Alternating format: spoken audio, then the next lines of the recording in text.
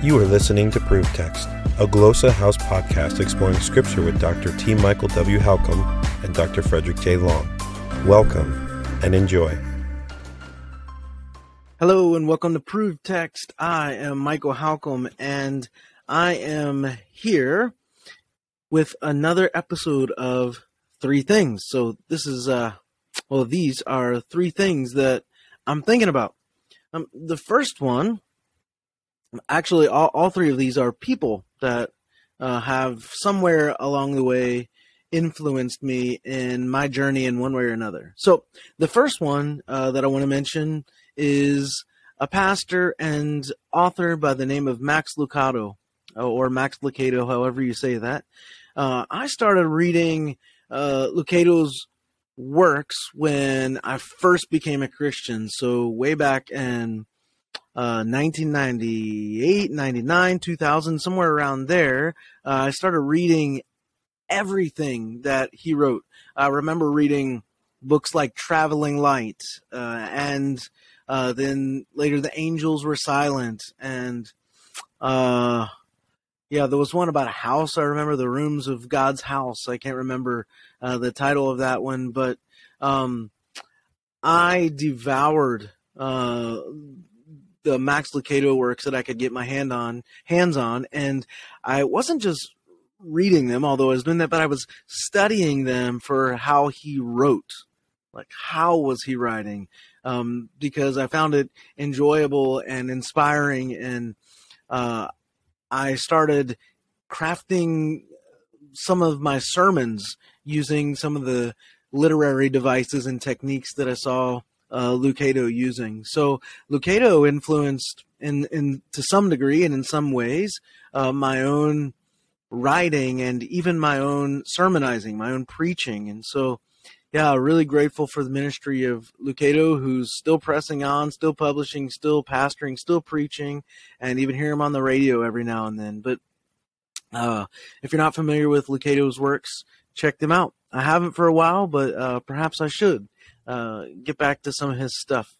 Another person that has influenced me along the way, and if you've been listening to the podcast for any time, uh, you already know this, but uh, uh Henry Nouwen. Uh, some people say Henri, however you want to say his name, but Henry Nouwen. And man, when I read his book, The Only Necessary Thing, that was a game changer for me, complete game changer. Um, Henry, or Nouwen as I should call him perhaps, uh, was for me a catalyst into uh, contemplative Christianity and got me really thinking about things like prayer. And in fact, um, probably Nouwen was a big reason that I've been obsessed with the notion and concept, the act of prayer for the better part of two decades now. Um, and again, he's another author that once I picked up his stuff, I just uh, devoured it, and I'm still reading now. And um, probably once every year or two, I go back and read his book, The Wounded Healer. Um, and that's something I would commend to anyone. Uh, but really, his book, The Only Necessary Thing, um, The Return of the Prodigal or the Prodigal Son, that's a good one.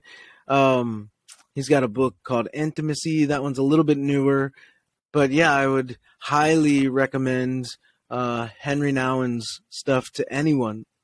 And a little bit on a different wavelength here. The third person I want to mention, this could be scandalous to some people perhaps, but is the comedian Dave Chappelle.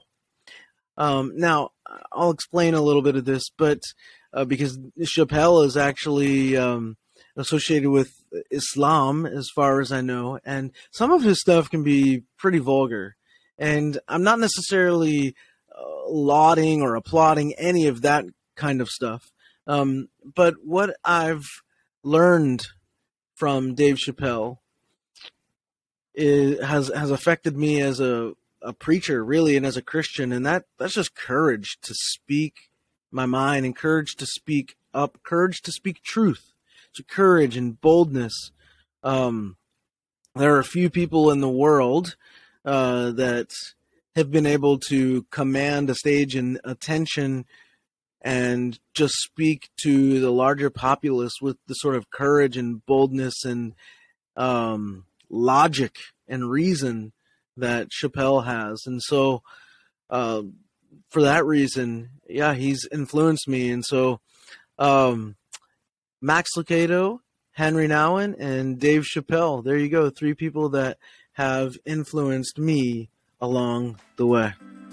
All right, hope that helps. Interested in growing your ancient language skills but not sure where to start? Glossa House can help. From illustrated readers and short stories to lexicons and grammars, Glossa House offers a variety of resources for beginning, intermediate, and experienced ancient language learners. Head to glossahouse.com today. Glossa House, language resources for the global community.